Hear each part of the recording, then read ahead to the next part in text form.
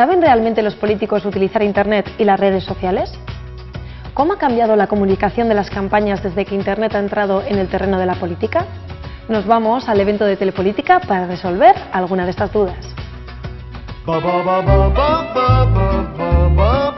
Seguramente tardaremos décadas en ver por nuestras tierras vídeos como este.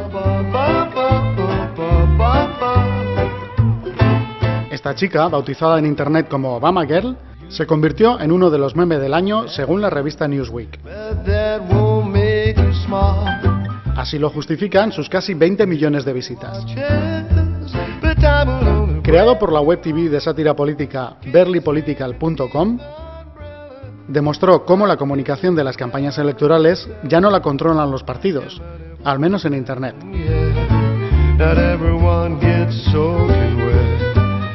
Pero Estados Unidos en este contexto es un mundo aparte.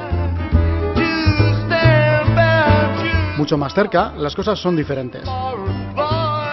Y aunque podemos encontrar muchos blogs dedicados a la política y constantes sátiras en los medios, todavía tardaremos en ver a una chica en bañador animando a un candidato.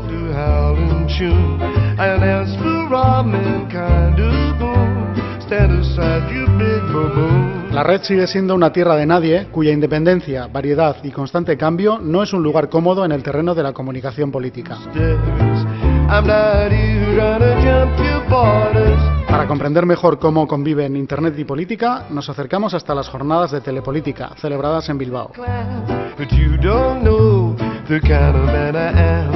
Allí hemos tenido la ocasión de preguntar a políticos y expertos en comunicación cuál es su visión del binomio política e Internet. ¿Qué es la política 2.0?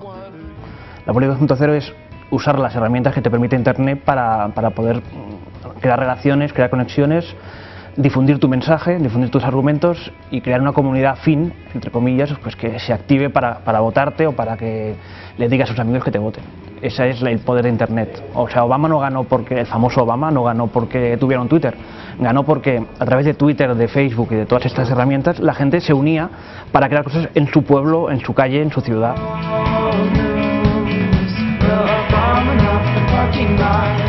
¿Cómo ha cambiado la comunicación política con la aparición de Internet y de las redes sociales? Bueno, la primera y más clara es que ya los partidos no controlan tanto el mensaje. Es decir, hemos pasado de, un escenario donde los partidos se sentían relativamente cómodos en televisión, en radio y en prensa escrita, pero ahora ha aparecido un canal más, que es Internet o las, o las redes sociales, para conectar con un determinado de público que ya no hace vida eh, leyendo prensa escrita en papel o viendo la televisión en el televisor, sino que ya consume ese tipo de, de información en Internet. Entonces, en ese sentido, el hecho de que los políticos empiecen a meterse ahora en Internet, a saber que puede ser una buena herramienta de comunicación, no para ganar votos, pero sí para movilizar, generar confianza, eh, generar también climas de opinión, etcétera, etcétera, puede ser interesante desde ese punto de vista. Pero saben que no les basta solo con lanzar el, mensaje como si fuera un, megáfono, sino que tienen que estar dispuestos a que haya una cierta interacción.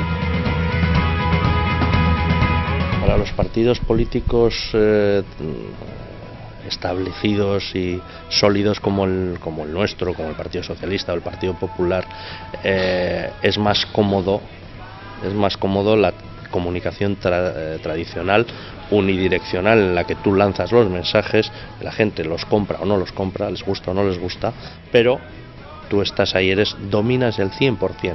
En cambio en la red eh, tú pones en marcha una bola que luego otros a ese balón le van dando movimientos, patadas y puede salir por, por eh, ¿no? puede entrar el gol, puede entrar en tu portería o en la del contrario, pero ya no está en tu mano. Tú, es, tú eres un elemento más, estás en pie de igualdad.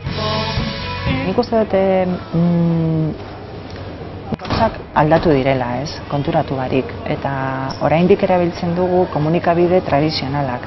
Baina gaur egun hiritar bakoitzak e, komunikabide bat da, bera bakoitzak, bera bakarrik, ez? Eta zuk aldozu e, albisteak e, egin e, interneten eta albisteak zabaldu, mugimenduak sortu, eta hori oso fenomeno garrantzitsua da eta hor dago eta kontuan hartu behar da.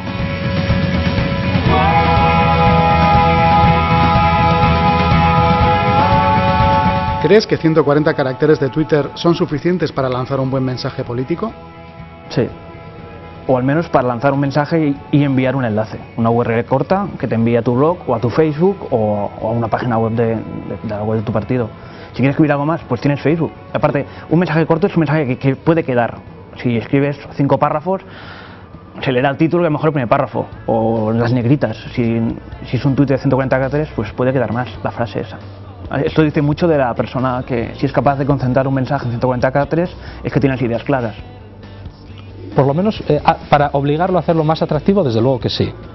Eh, siempre solemos decir a los políticos que tengan la capacidad de resumir, no solamente para, estar en Internet o en las redes sociales, sino también para los medios de comunicación que sepan hablar en titulares, que no es lo mismo que hablar en eslóganes, sino que tengan la capacidad de resumir eh, sus ideas en frases cortas, porque al final la forma más directa de poder llegar a los ciudadanos normalmente es a través de los medios de comunicación. Hoy en día que todo es economía de espacios, de tiempos, etcétera, eh, te obliga a sintetizar y un político tiene que saber sintetizar lo que es importante de lo que es accesorio.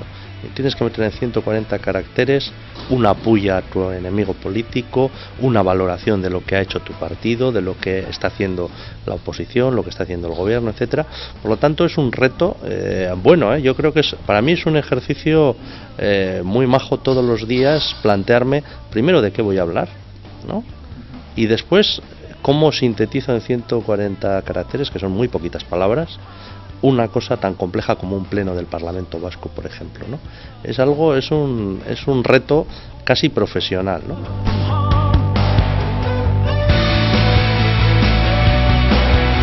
Pero los políticos no son siempre los que están detrás de las redes sociales.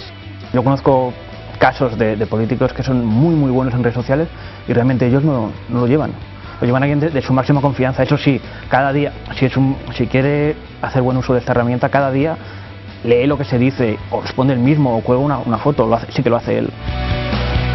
No, no, yo llevo mi Facebook personalmente y mi blog pues eh, procuro siempre eh, escribirlo yo, es que no me gusta nada que, que, me lo lleve nadie más. Yo creo que, que estas cosas, al final yo concibo esto como una conversación con la gente y si no hay interacción, si no eres capaz tú mismo de, responder a, las cuestiones que te plantea la gente, pues yo creo que se devalúa un poco el sentido que tiene Internet. ¿Es proporcional el número de seguidores y el de votantes? No, para nada. Es decir, Primero de todo, que ya ahí empieza a haber estadísticas en los que se ha medido que en la mayoría de los perfiles, sean en Facebook o sean en Twitter, de gente que sigue o que es amiga de ese determinado político, la gran mayoría, y estamos hablando casi de 8 de cada 10 personas que, siguen a un político en Internet, ya son convencidos de ese mismo partido, de esa misma ideología o de ese mismo eh, candidato. Entonces estamos hablando de que solamente un 2% puede ser gente que, o bien periodistas o consultores que siguen a los políticos para saber cómo se mueve en Internet, son gente ajena a ese, a ese partido o a, ese, o a esa ideología. Por lo tanto, Internet en este caso no sirve tanto para conseguir votos de manera directa, sino sobre todo para movilizar a toda esa gente que ya es, simpatizante, que ya está convencida, para que ellos a su vez sí sean agentes de generadores de opinión, de movilización. El público debería ser a, la hora de hacer política en Internet los indecisos y los que te votan, pero a lo mejor están pensando si van a votar o no. Ese es el público al que hay que ir. Porque quien, va a votar, va a votar por tu partido, eh, te va a votar igual. Y quien no va a votar tampoco te va a votar. Tú no vas a convencer a, alguien que vota a tu opositor a que te vote a ti. Por mucho que seas increíble en la red y tengas 50.000 fans. No tiene nada que ver. El tema es activar a la gente para que, para que te vote. ¿Cómo la activas? Pues eh, relacionándote con ella y creando vínculos, creando pequeños rasgos de, afinidad. Y sobre todo, lo más importante es que creas eh, una comunidad fin que hace de, que usa el boca oreja. ¿Muchos políticos abandonan los blogs después de las elecciones? En, en el 2008, en las elecciones generales, fueron 57% de blogs abandonados y no eran muchos blogs, pero que de los pocos, 57% fueron abandonados, dice muchísimo de para qué los querían. Pasa mucho cuando pierden, sobre todo.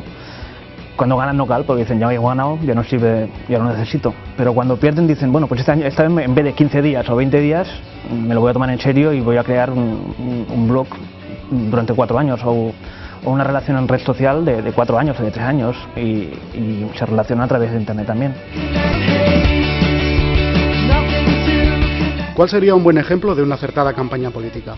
Un buen ejemplo de, cómo usar Facebook fue Antanos Mocus en Brasil, consiguió 700.000 eh, seguidores en Facebook o fans. El, el, problema que tuvo es que uh, no, no, supo qué hacer con ellos. Uh, si no les dices nada que hacer, sigue siendo un número, pero no, no consigues nada más. O sea, hay una frase muy manida que igual no se puede publicar, que es no importa el tamaño, importa lo bien que la usas, la página de Facebook en este sentido. Si, si, tienes una gran comunidad, pero no, no, les dices, oye, ¿por qué no nos reunimos aquí? ¿O qué, por qué no me proponéis una idea? ¿O por qué no? No sirve de nada. En el caso, por ejemplo, de Venezuela, donde eh, hay un régimen particularmente complicado, donde la oposición es muy diversa, pero que están, digamos, todos relativamente unidos contra, contra Chávez, eh, hay el caso de una figura, de un líder eh, político allí, que es Leopoldo López, que tiene, no sé si en Facebook, eh, pues alrededor de 300.000 eh, seguidores en las páginas eh, de, fan y también en Twitter tiene pues un, en torno a unas 100.000, 150.000 personas y ha sabido utilizar las redes sociales no solamente para captar ideas, propuestas, sugerencias de todo tipo con respecto a lo que pueda estar pasando en Venezuela, sino a su vez para generar no solamente opinión, sino agentes movilizadores, de hecho su, su, su movimiento es más un movimiento que un partido político, Voluntad Popular, y lo que ha servido sobre todo para eh, generar y, digamos, eh, calentar el ambiente, en este caso político, en Venezuela.